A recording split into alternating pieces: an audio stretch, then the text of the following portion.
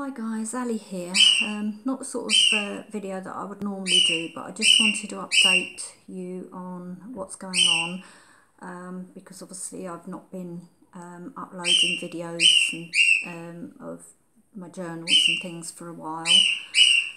Beginning of the year was very busy um, with some projects and things that I've got going on, and then I finally had time to slip back into my crafting and um, you know, was enjoying what I was doing and that. And as you will see, I posted a video um, of a swap that I'd done.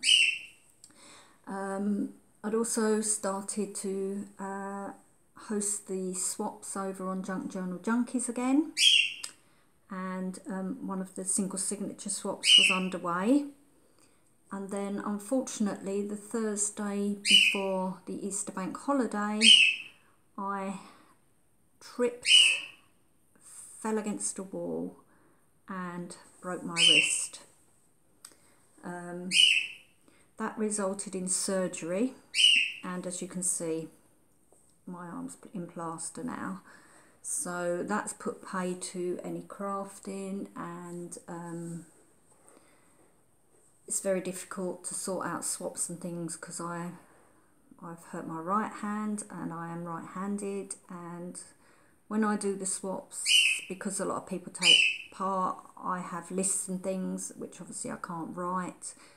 And um, so anyone that does um, take part in the swaps I host please bear with me. Obviously once I'm back up and running I will get back to doing those swaps. But just so you know what's going on and um, why the swap my, my previous swap was taken over by one of the other admin on Junk Journal Junkies, the lovely Laurie, and, and I appreciate it that she was able to step in and and um, complete that uh, swap um, for me.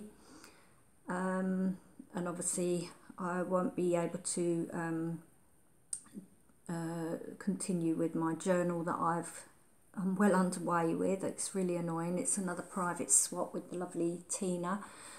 Um, so that's on hold for the time being, and I'm not sure really. They said at least six weeks in, in plaster, so I'm not sure really where we're going from, from there. But um, obviously, I just didn't want people to think that I was no longer making journals and um, hosting swaps and you know, just in case you wondered what was going on, I thought I'd just give you a bit of an update. So um, I hope you didn't mind.